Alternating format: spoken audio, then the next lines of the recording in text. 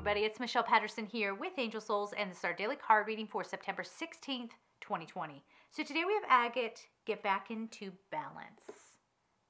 It's what we've been talking about, right? Get back into balance. Realize what is truly important.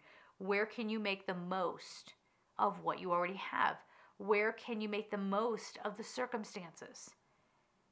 I think it was about a week ago. I was giving the example that when everything started happening in 2020, first of all, first of all, first of all, uh, get back into balance also means speaking up for yourself.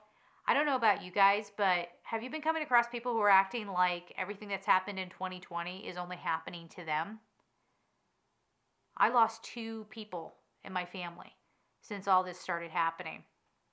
Three people in my family within a six month period. And I went I went and saw somebody and they asked how I was and I said, "Well, you know, this has been going on." Literally told this person what happened briefly. It was like half a sentence. Lost a couple of family members, me and my family, you know, I guess that's a full sentence, but whatever, you know, me and my family were kind of dealing with that.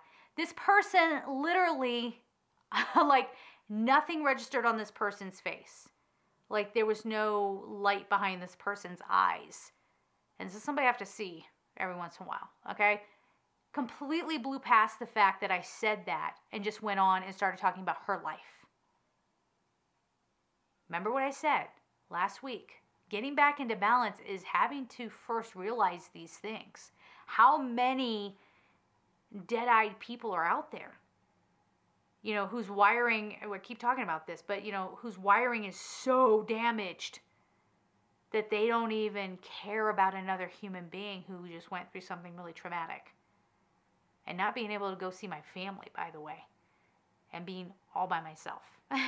Because I'm not married, I don't have kids, you know, I was all by myself going through that. And this person just didn't care.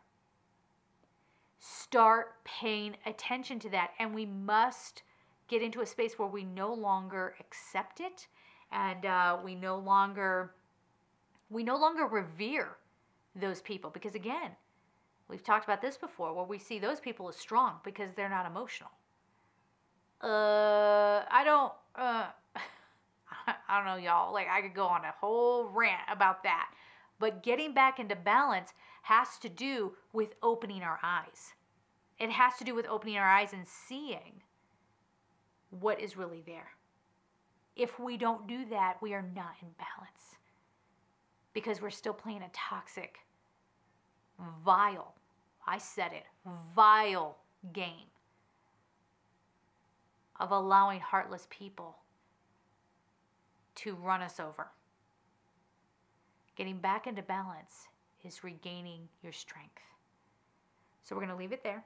I'm sending you so much love and take care. Bye bye.